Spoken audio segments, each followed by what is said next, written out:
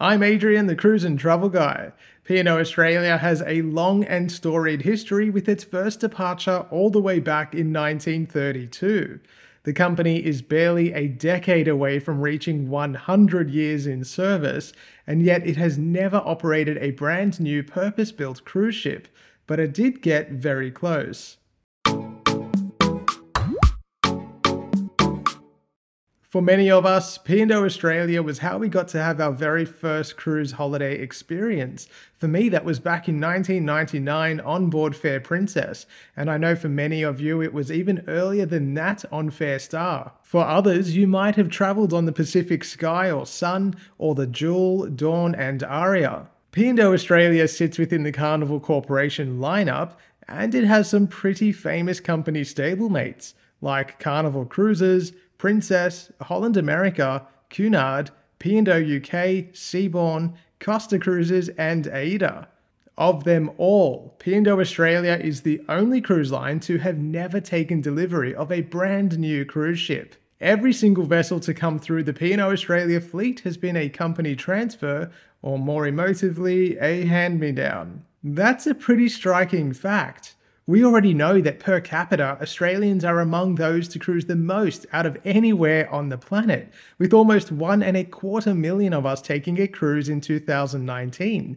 And that number is only expected to grow now that cruising is back for everyone. Our cruise market is becoming even more saturated with choice, with bigger, newer, shinier objects coming in on the horizon from all corners of the globe. This summer season alone will see the five year old Celebrity Edge calling Australia home, along with a seven month old Resilient Lady. That's in addition to the Quantum class ships from Royal Caribbean and the 2017 launched Majestic Princess.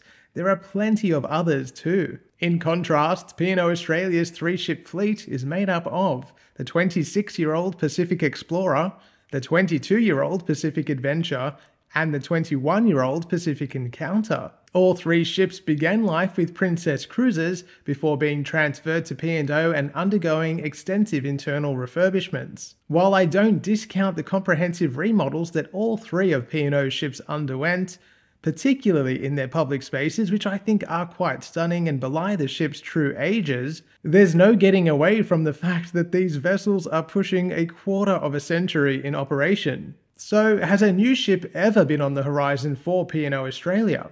Well, it has, and it's quite the story. In early 2016, P&O announced that it had finalized the contract for its first ever new build. The 135,000 gross ton ship would be the cruise line's first that was built and designed from the ground up for its Australian and New Zealand cruise market. Of the announcement, P&O Australia's then president Sture Myrmell said, our new build will be a ship like no other, reflecting the tastes of modern Australia and building on the ongoing evolution of P&O Cruises' product in recent years. We are incredibly excited to be creating this ship and can't wait to reveal details over the months ahead. But the planned new build wasn't to be. A company announcement in late 2016 confirmed that the new build would instead be transferred to Carnival Cruises and become the vessel that now sails as Carnival Panorama. At around the same time, Carnival announced that the 2008 built Carnival Splendor would transfer to P&O Australia in late 2019, offering the cruise line its newest cruise ship to date and increased capacity for over 3,000 guests. But less than a year after that, in September 2017, it was announced that plans had changed again, and Carnival Splendor would remain with the Carnival fleet, but instead transfer to Australia and sail year round from Sydney. In its replacement, the 2001 built Golden Princess would be transferred from Princess Cruises to sail under the P&O Australia banner.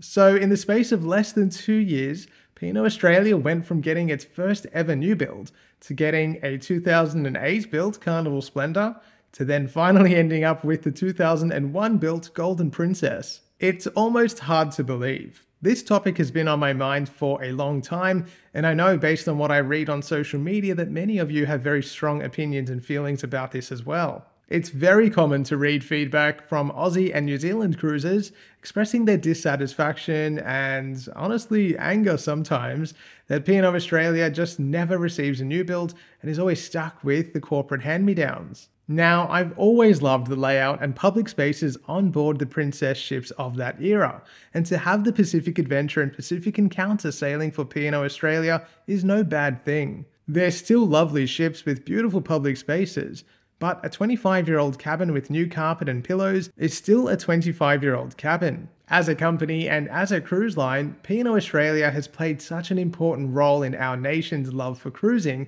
that to ignore that would be a mistake. Yes, there are plenty of newer and sexier options on the horizon and plenty more coming, but I think that P&O Australia still holds a very special place for a lot of people. Examining this recent history in some detail has really highlighted the argument that P&O Australia does not get the credit that it deserves from Carnival Corporation, and that bothers me. Whether they will ever take delivery of a new build is anyone's guess, but as the cruise industry continues to grow and cruise lines like Royal Caribbean consider sailing year-round from Australia, there's no doubt that P&O and its parent company Carnival Corporation will have to respond. Maybe not tomorrow and maybe not even within the next 5 years, but speaking as an Aussie that had their first cruise experience on board a P&O ship, I hope that the company one day gets its new build. Let me know in the comments, was P&O Cruises part of your first cruise experience and do you believe that they deserve a new build?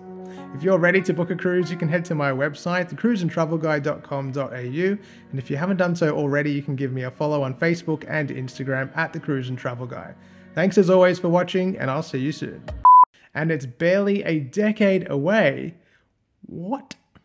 Has been a transfer from another company. What? Every single fleet mod. In contrast, P&O Australia's fleet, fleet and only ever gets the hand-me-downs from its corporate brethren. Ba -ba.